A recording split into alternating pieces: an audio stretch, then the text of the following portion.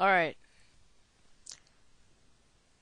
Alright guys, so I don't think I made it very clear in my last video exactly how I wanted to do things um, with the Dungeoneering group. I pretty much just said, tell me if you want to go Dungeoneering or tell me if you don't. And um, I got a few different requests and everything. It's kind of hard to keep everybody organized and how to pick from the like 10 or 7 people I got. So, um, this is just another video to say, let's go Dungeoneering again.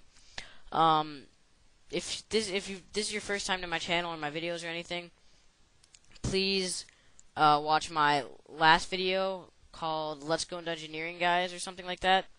Uh, watch that first. I'm getting a lag. Anyway, watch that first. So if you do want to go Dungeoneering with me, instead of sending me a message anywhere or anything, I want you to leave a comment on this video.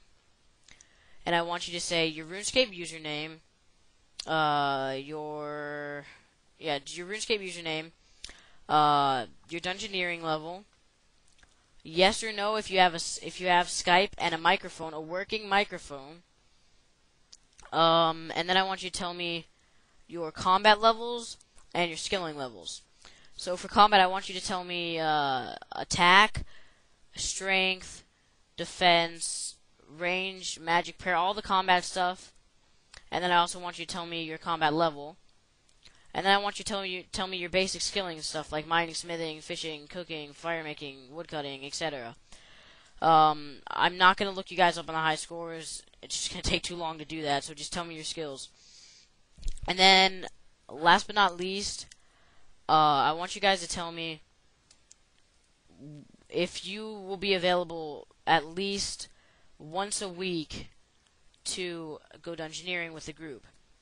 Um, I'm thinking like every Friday or somewhere on the weekends because most people are open on the weekends, and um, probably starting around like 8 p.m. Eastern time or something like that, just for as long as we want to go.